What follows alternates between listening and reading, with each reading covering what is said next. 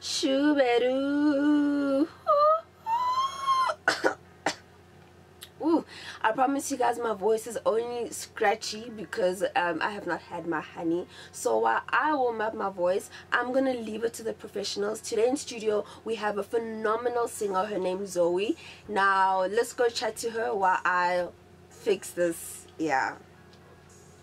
Hi guys, welcome to another great episode of Unpack right here with me, Belinda Phofu. On today's episode, we'll be talking all things music. That's nice. I have an amazing young talented musician with me. Please introduce yourself to everybody at home. Uh, hello, guys. Uh, my name is Zoe Modiga, and I'm a human being first and a musician.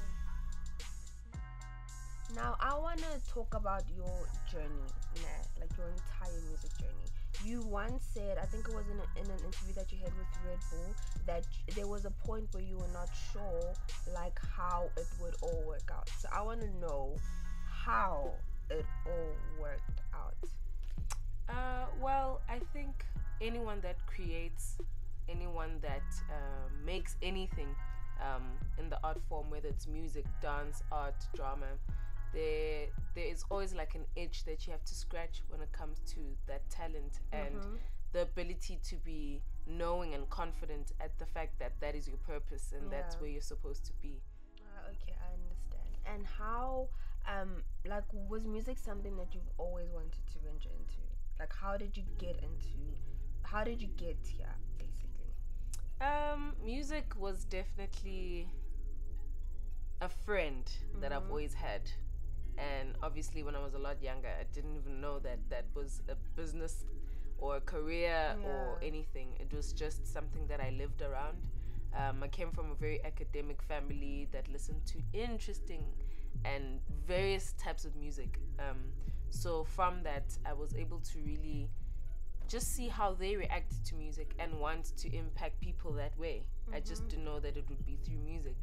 Um, but I realized over time that whether it was in school settings, I would always be auditioning for choirs, and Yeah. I was never accepted into netball teams, for instance, because I'm really bad at catching balls. Um, but um, but yeah, it just became a gradual thing. And by the time I got to high school, I realized that that is exactly what I wanted to do. And that's when I got into my classical and jazz training. Your debut album is titled Yellow. And I also noticed that the color yellow pops up a lot on your Instagram because I was kind of stalking you a little. Why the name number one and why is it? Because yellow seems to be important to you. Why is it so like significant? Um, well, the album, the debut album, is called Yellow the Novel. And um, yellow has always been my favorite color. I can take it back all the way to preschool when we'd be making songs as little kids and like using crayons to um, color in everything and all the girls would choose the pink color but i had this like fixed fascination about yellow. And i realized over time that um, that would be what i would embody you know in terms of being a little bit of an outcast. But i realized in time that that would be a strength you know?